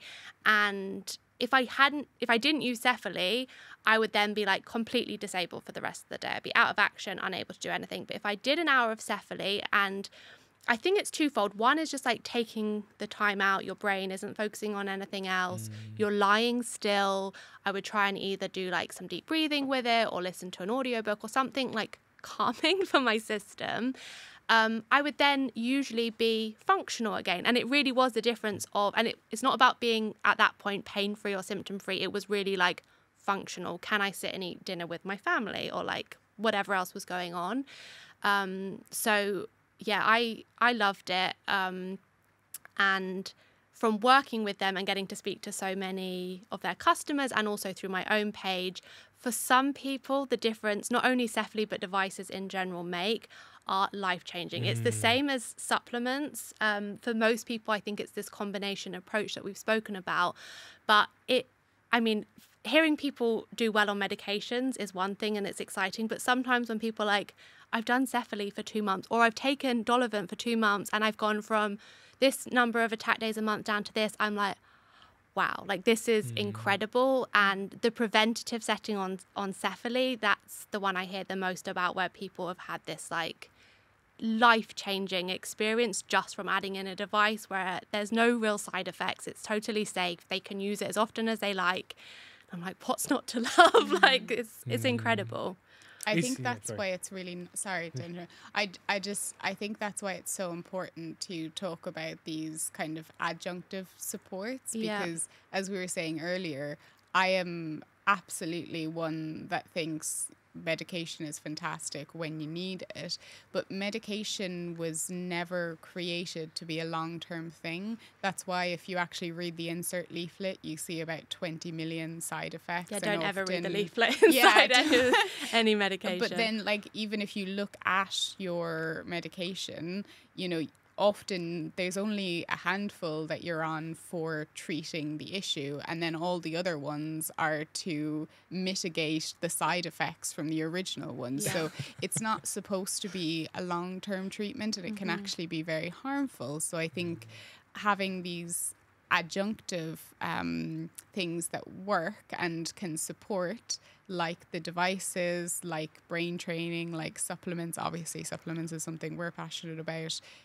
is so powerful because it is something that you can have in your toolkit long term without the damaging Yeah. effect um, so can you talk a little bit you mentioned so you mentioned the brain retraining you've mentioned um, the Cefaly device i know obviously I mean, I've only joined the the team, so you met through Dolovent, Yeah. which is a brain, uh, a three in one brain supplement, brain honest. supplement. Yeah. How did you? uh, Were you already familiar with supplements before then? Do you take other supplements, or was it something that you heard through the grapevine? Because I know obviously a lot of neurologists use Dolovent to support migraine. So I knew about supplements before. Okay. I was taking them, I would say, but because I was taking them all individually, Okay. one of them I wasn't quite taking at the right dose, and this kind of is like going to end up being a pitch for Dolovant. But they would run out at different times. You then get a bit like lazy with it. It was I was taking so many medications as well at the time that it was just like more tablets to take. It's So expensive. it, it and was expensive. Um, I was always then suddenly trying to find ones that actually, you know, you look on Amazon and you like look for the cheaper ones. Then you're like, oh, but what else is in this? This is probably full of rubbish. Um, I was taking one that had very good marketing for migraine. Yeah, actually had like I think about 50 grams of magnesium in, and I'm like, once you understand, but you understand why people fall into all these traps. There are so many.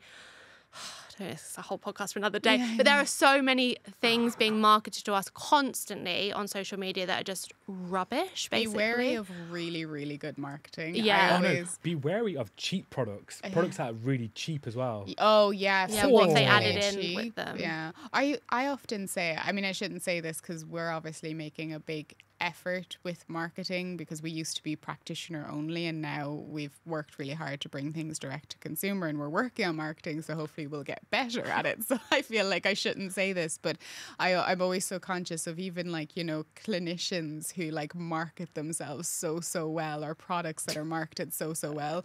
Often they're not putting the effort into the research side or the research element so always read the label. Yeah. always ask questions.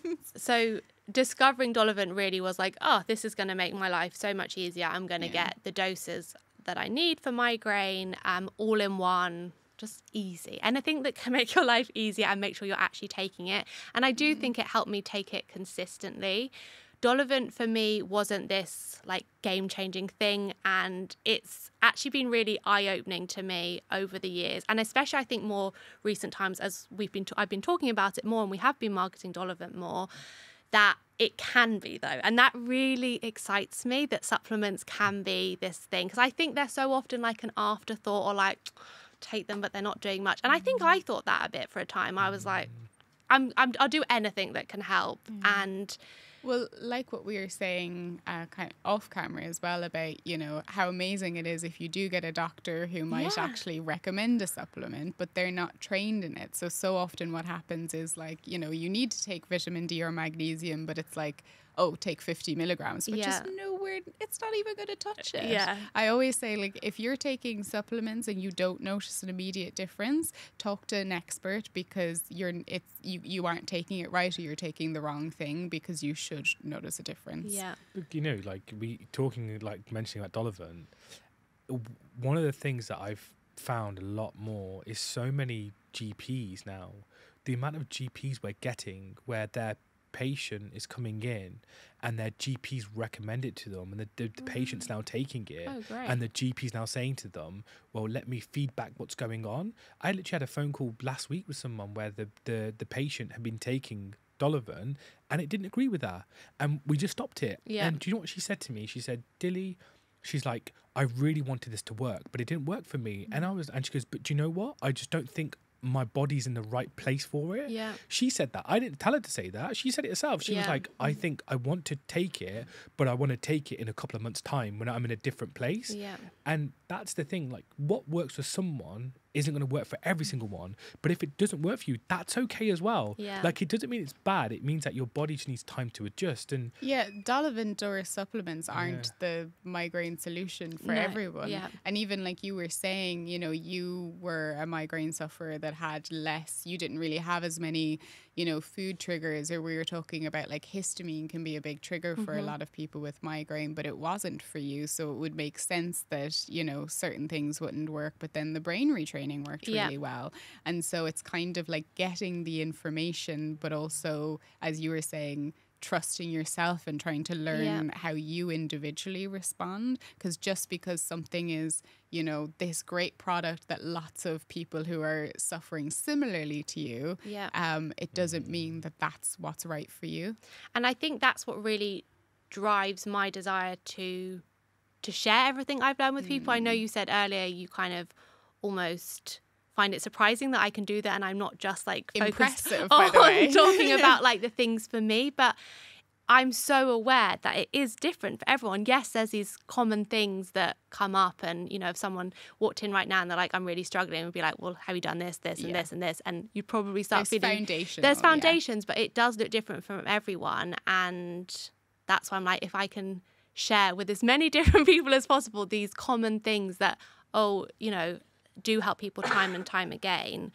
Um, and with the supplements, just going back to Dolovent, I would say the actual, genuinely, the only downside I hear is because it's a three in one, people then give up sometimes if it doesn't agree with them. Whereas in reality, it might just be they need to, you know, build up slightly slower, or it might be, okay, their body can't tolerate the magnesium right now. And that's the only one that I find a bit like, uh, like you still need the coenzyme Q10 or whatever it is. Yeah. Um, and I don't know, you must hear a lot from customers, but if it's not agreeing, normally I feel like by reducing the dose and building up slowly tends to to settle it things. gets rid of it completely because Yeah. Often it's you're, reducing. yeah, you're building bowel. You need to you need to build bowel tolerability to it Yeah. because it is an increased amount, and because it's such an increased amount of it, you are going to get the benefits, but you might just need to go to one one capsule a day and then do one capsule twice a day. Yeah. But uh, I don't know about you. if- One of the things I found, like with Dolovent for me, because I do take it.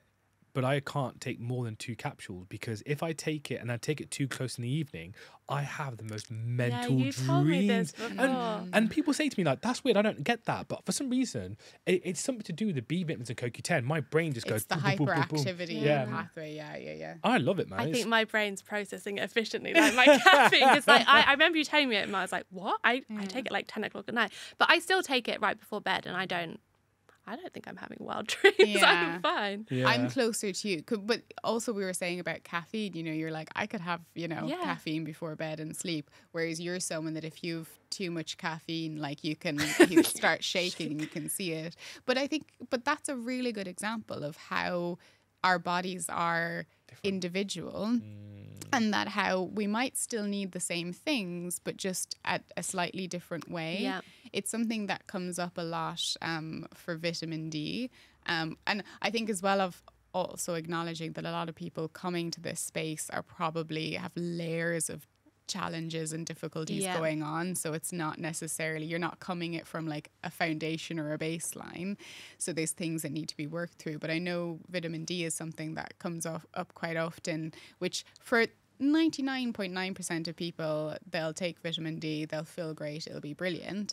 But there are some people that they're so deficient on the cofactors. So, cofactors being other nutrients that are required for the body to use this nutrient, that they can take it and they can start getting all these different symptoms. Oh, and, interesting. you know, I think in society we've been kind of told, oh, that means I should write it off because it doesn't agree with Yeah. me or I don't need it. But actually, in reality, it could be that you really, really need it, Yeah. but you're so deficient in, say, magnesium, which is a cofactor for vitamin D, that your body ca- literally cannot break Mm-hmm. it down and utilize it. You need to increase your magnesium first. Like Mm. you were saying, if you know, sometimes you might need little bits of the individual elements in Yeah. terms it before building to the kind of whole element. It reminds me of using the magnesium spray because for a while I wasn't on taking magnesium because I was having um, basically daily diarrhea, let's be honest, on one of the preventative medications. And I was like no way that adding magnesium into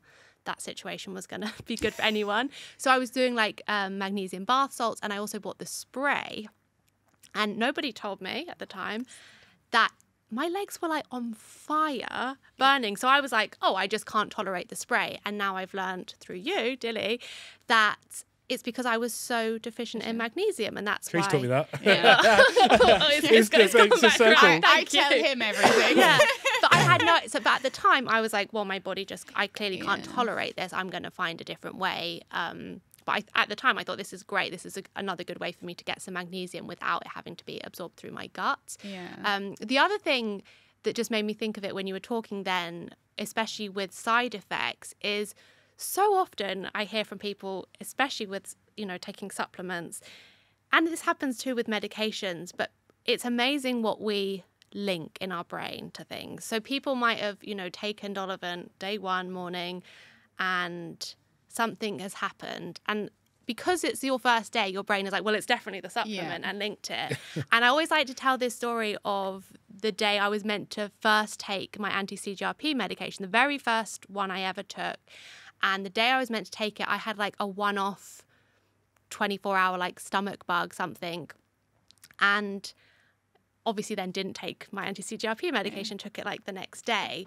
And I always think if I had taken it that morning, I would have been like, oh my goodness, I can't tolerate this medication. Like it's definitely this side effect. And it's not always that, especially if you're having migraine and you have gastrointestinal symptoms or whatever other side effects you're feeling.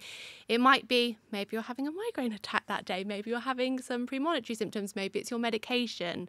Um, and just I always try and tell people to like give things a bit of time, reduce the dose, build up slowly, discuss it obviously with your doctor. But if you take something one day and then suddenly, it's quite unlikely with these things that you're going to have such a severe mm. reaction straight away. Particularly if it's like a relatively small amount as Yeah. well. Like if you were taking like if you took that whole box of medication, Yeah. then probably you'd expect Yeah. something. But it's something I know I can You I can see my literally- crier. I literally can read your mind as you're talking because I'm thinking about we've had we've gotten it several times where people have had a bout of food poisoning but it's coincided with them maybe taking the f- like taking the first dose of something Yeah. and often like literally one dose is so you know small there's no way it could have that effect Yeah. but because you like they have that the food poisoning they're like oh I, i'm intolerant i think something's happening but then it'll transpire oh no i just had a bad takeaway Yeah. um, but it's trying, I think, particularly again in that space that a lot of these people struggling with chronic illness are in, where you're just so reactive to everything. Even though I know the solution is to push through and keep trying, you know, continue the supplement or the device or the brain training or whatever it is. Yeah. even though we know that that's the path you need to take. I also so empathize with people in that space where they're just hypersensitive to life, really. Yeah.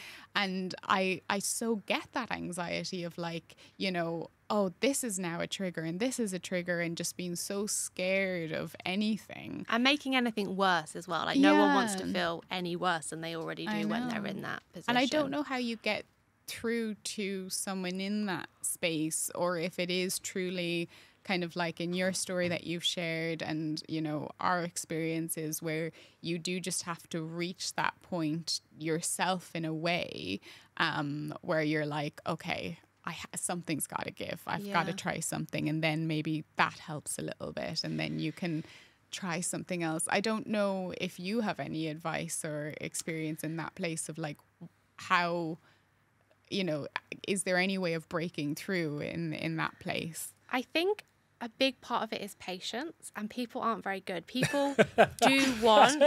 Peop they're not though. People want an overnight quick fix. Like, I- let's I'm going to plug our Amazon Effects video. we literally did a video last week about Amazon, of the Amazon effect of health, like Oh, where people want a Oh, I've quick got so fix much to tomorrow. listen to on oh my yeah, I'm gonna, job. I'm gonna plug that video in because that's it's so true. It is. Yeah. And I've even had people, you know, reach out to me about the brain retraining or doing my course. And they're like, I'm really interested, but I'm sort of, I'm not like, they're not willing to put in the time and energy. And they want to know it works yeah, they Yeah, want to know it that. works. But even when, if they had, I think the guarantee it works, like, if you think about over here taking a pill, how easy that is. And that's why I actually am like, the supplement is so easy. Like, just take it. You're not, there's no effort required, all the way to kind of all of the lifestyle stuff, um, making changes, the energy and effort that requires and the time down to over here, which I think is actually the most labor intensive, the mm. brain training, that people don't actually want to do it. And I mean, some people do, but mm.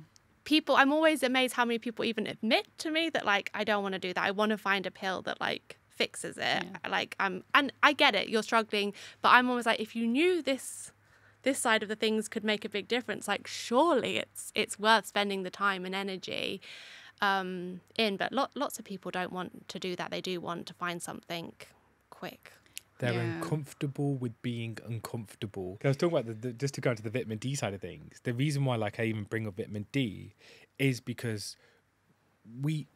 The problem with vitamin D is with migraine, there is research on how it's linked to it by reducing the amount of calcium in the physical brain. And a lot of people don't actually understand that you have vitamin D receptors in your brain. So your brain actually requires vitamin D for order to, to, to function. So the, the thing is, when we look at vitamin D, our kind of focus is always on rickets disease and osteoporosis. But vitamin D plays a more higher role in other functions and aspects of life. well it's If a it- hormone it's a hormone. So it's it's in different parts of the system. It's not just in mm-hmm. muscles and tissues. And so when we look at vitamin D, because people what people say is like when I say it's like the Amazon effect approach, well they'll be like, and I, I take the piss. I, we would we were walking when we were talking about doing this podcast. I was like, oh. I like I goes I go Tracy get these people just like oh Dilly I don't need to take vitamin D you know what I did I was in the sun for two weeks in Greece and I was I, literally me I know I was like I me. got enough vitamin D for the winter But that's what we're taught. Like But to that's be what we're fair, taught, that's yeah. what we're Yeah. taught. So I do understand why people have that thinking. Before I was re-educated, that's what I thought too. And then I, when, when I tell people, I'm like, you're chatting shit. Mm. And I was like, because I said to people, right, this summer, I was sat behind my desk. I can, I can literally see my desk from here. At 12 o'clock, do you think I stopped at 12 o'clock and went, you know what? I need to get my daily dose of vitamin D? No, I was working. I tell you what, go to your employer, uh, join the summer and say to them, hey, mate, do you mind if I just stop at 12 o'clock and go stand in the sun half an hour fully naked? They look at you like you were crazy. So I say to people, but this is the problem. Like we've been, we've been trained in these really, like, these methods, right? But these people aren't experts. Tell you what, go to a surgeon and ask him about cardiology he's going to look at you like, what are you asking me for? So why are you going to people who don't understand vitamin D and asking them the same question? It doesn't. It doesn't make sense. Like it, it, it it's too generalized. If we're going to general like general medicine, that's a very different kettle of fish. And so to come back to vitamin D, like everyone should be taking it because if you and read the research. It's literally physically there in how it pulls calcium away from the brain and it utilizes it in the receptors. That's such an easy fix. And what does CGRP do? oh it, it blocks the receptor yeah.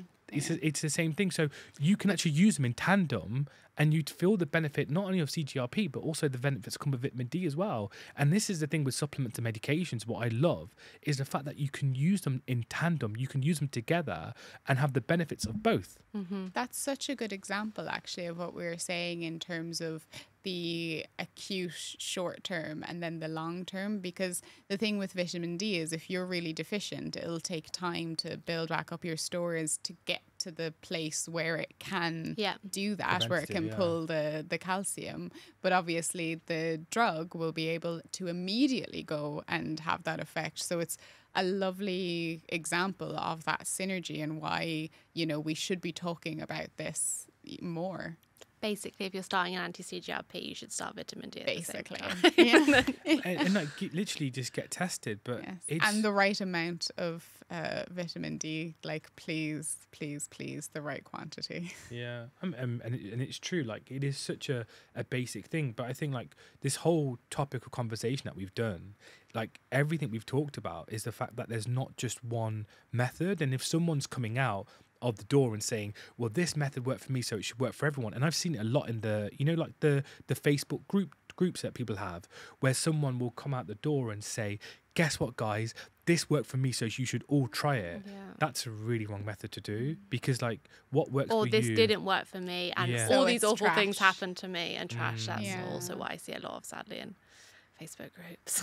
But also, I hope for anyone listening with regards to migraine, because I feel like I've learned so much in terms of migraine specifically. And, you know, hopefully, either for anyone suffering, it'll kind of give them that peace and acknowledgement that it is multifactorial. Mm-hmm. And hopefully, for anyone who knows a migraine sufferer, maybe they'll be a little bit more understanding that, you know, it's not as simple as like this big headache that someone has Yeah. a little bit, that actually this is a multifactorial thing that can, you know, go on long term and there's loads of layers to it. So, you know, that's really encouraging.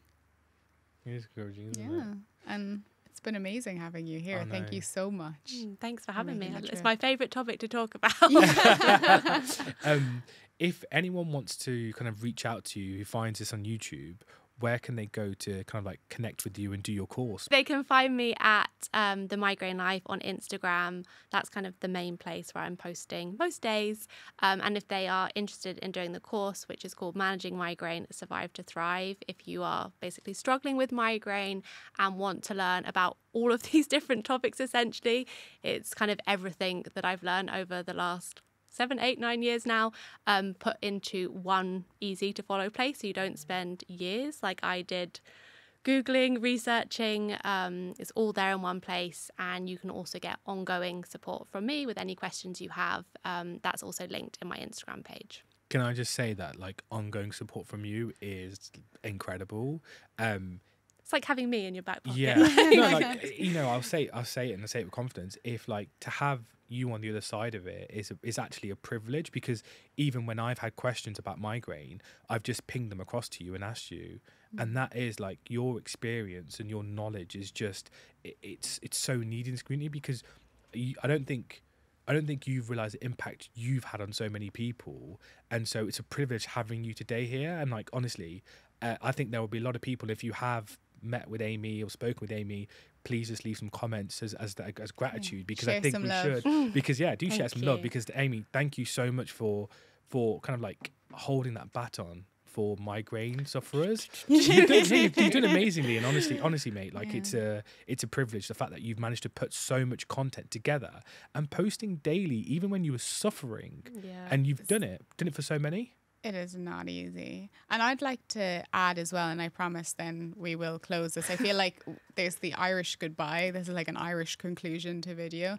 But I would like to say to any practitioners that are listening who might um, either specialize in in migraines or headache, um, or you know see any patients that are suffering with it, I would really say go to Amy's page as a fantastic resource because I do think sometimes you know there can be a disconnect even if you know everything you know physiologically and anatomically when it comes to headache and migraine sometimes there can be a little bit of a gap in terms of the best ways of communicating that to someone who's experiencing it on a day to day and it's I've sent a few practitioners to your page because I think the way that you present um, the information and that experiential part you bring to it is just so informative and so beautiful that I think actually not just sufferers but also you know practitioners and doctors could really learn a lot from the way you're talking about this. So, yeah, anyone listening, check out her page as well.